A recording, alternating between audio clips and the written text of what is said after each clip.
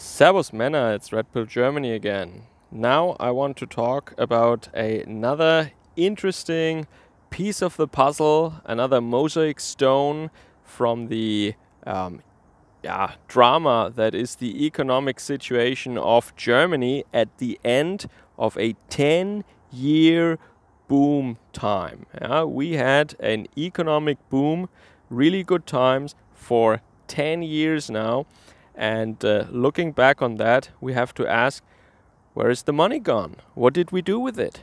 Yeah, our infrastructure is really uh, outdated. Yeah, we need a lot of um, investment in our infrastructure, which which probably will not happen in the coming future because there is no money. Yeah, we just had a record tax revenue for the federal government or for uh, the state level um, or for Germany in general, record tax payments. Never in the history of Germany before were so many taxes paid to our state.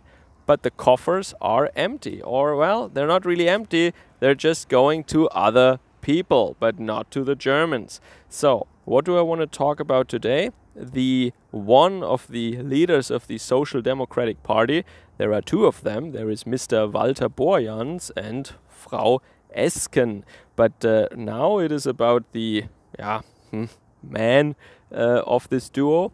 Uh, what did he say? He said he urged or he demanded the federal um, level in Germany, the, the, the state, in to um, bail out the German communities who are in debt. So that means the federal level in Germany, uh, the Bundesregierung, they should, um, with direct tax-funded payments, they should take over the debt of German small towns, cities, and so on, German communities. Um, why is that? Well, because they are deep in the red. They are in debt. How can that be? How I mean, with the economic boom and all, shouldn't they also have received a lot of tax income? Well, first of all, um, not every city has factories or big business there, so their tax revenue varies from town to town. And there are also certain, how should I say that? Uh, certain obligations that the communities have in Germany. And that is, for example, the um, housing costs for our dear newcomers. Yeah? That has to be paid for or provided for by the German communities, not by the federal level, not by the state, but by the community.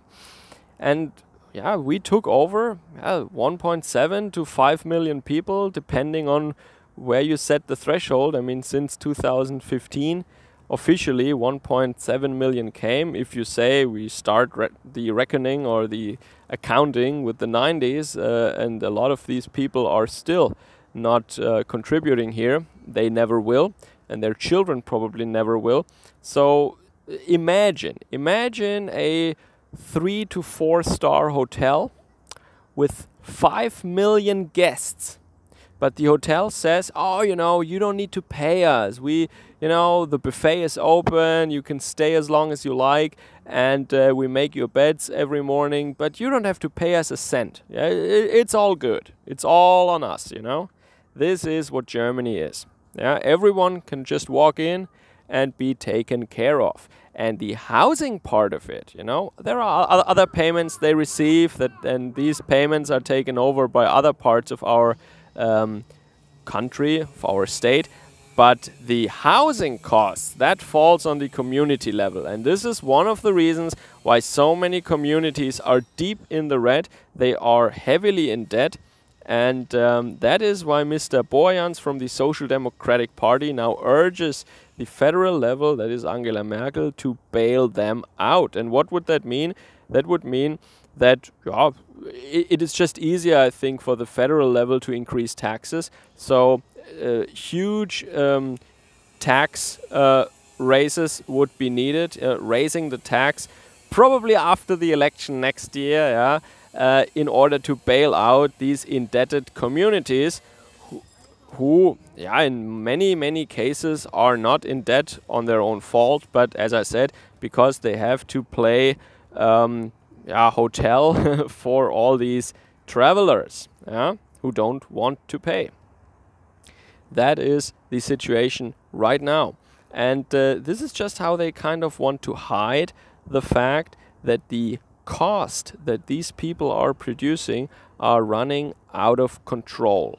And um, they uh, some of these costs are visible here, some of them are visible there, but uh, overall they try to hide that from the people by how should I say, by diversifying that. Yeah? So you, you don't see the overall number, you just see, oh, the communities are in debt. Oh, why is that? Oh, the, the federal level received so many tax payments recently, but they didn't uh, uh, invested in the infrastructure. Why is that? You know, uh, there are all these different levels of state. There are all these different accounts, all these different elements, all these different pockets, and it is made. It is constructed in a way that the voter in the end, the citizen, cannot connect the dots. He doesn't see the full picture. He and and everyone is telling him, "Oh, we're not going to take anything away from you.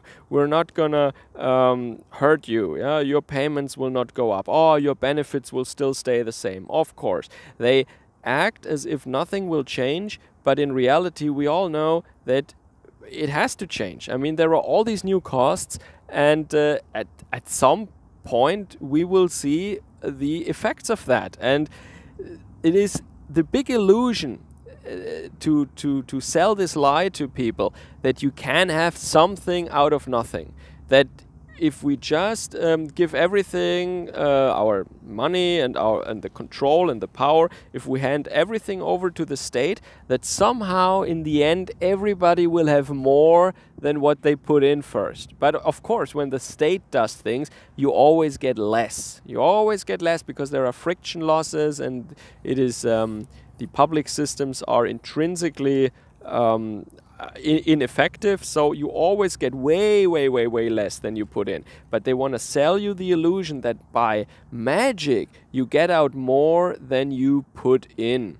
And this is just one more very very treacherous very very deceiving part here where they house all these strangers from distant lands, but they tell the German people, and they literally say that, äh, niemandem wird etwas weggenommen. We will not take anything away from anybody. Haha. And then in the next year they say, oh, right, we have to raise your taxes. Oh, by the way, you cannot see a specialist anymore when you have some some ill or some disease. No, you have to go to the to the general practitioner, and he just gives you pain meds. Then, yeah. So, uh, yeah, of course. Uh, things will change. Of course, we will have less in the future. Yeah, in all these public um, services, these social security, um, yeah, welfare services, the um, benefits for the Germans will go down and their payments will go up. Their, their, their salaries will stagnate. And as I said in my previous video, the Lohnnebenkosten, that is that that means uh, what the state takes away uh, right away before you even see a cent. Um, so that means after taxes, after social programs, what ends up in your bank account, this money will become less and less and less. And what I talked about now is just a further chapter, just a, a, a, little uh, piece of the puzzle in addition, and that is that our communities are bankrupt, and now the leftists are saying that the federal level with direct tax payments have to bail them out so that the show goes on for just maybe one more year until the election comes in next autumn. Yeah? So maybe now you have one little piece of the puzzle more in order to understand the absurdity, yeah, the, the monstrosity that is uh, the German state at the moment. Yeah? It is a gang of thugs that steals money from Germans and gives it to non-Germans. That is the function of the German state in a nutshell at the moment. And of course, many people have said that before. I'm not the first to say it. I have said it also before. Um, you can either have a welfare state or open borders. you cannot have both. You can never have both. And that just shows this very, very impressively once more. I hope you catch my next video also. I hope you're doing well. Servus, Kameraden.